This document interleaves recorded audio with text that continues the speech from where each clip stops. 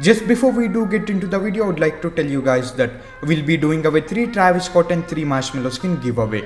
All you have to need to do is make sure to like this video, subscribe with post notifications turned on, and also don't forget to use code SKULLPLAYZ all in a single word if you do like my content. And also don't forget to comment your epic gamer tag down below. And also don't forget to follow me on my Twitter, link will be in the description box down below. Hey what's up guys, this is me Skull Playz back with another video. So today I'm gonna tell you the release date of season 7 starter pack here in Fortnite. Just before we do get into the video, a like and sub is always appreciated. Finally, Season 7 is here to save the world of Fortnite. I hope Season 7 is gonna be one of the best season of Fortnite. And you guys are waiting to buy the new Season 7 starter pack cause you can get the 600 V-Bucks with that. And with that most of them do buy the Season 7 Battle Pass. And if you are one among them, make sure to use code SKULLPLAYZ all one word to support me. Season 7 starter pack includes 600 V-Bucks and a skin called Dizzie.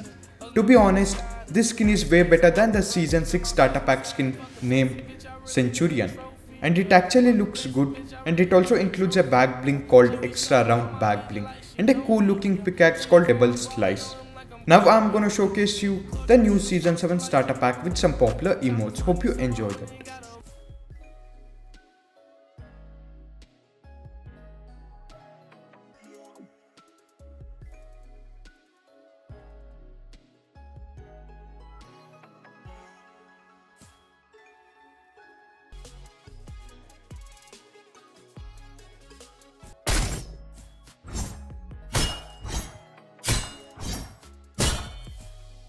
Without any further delay, I'm gonna tell you its release date here in Fortnite. Usually the starter pack appears in the item shop after 5 to 6 days of the season starts. So season 7 began on June 8th of 2020.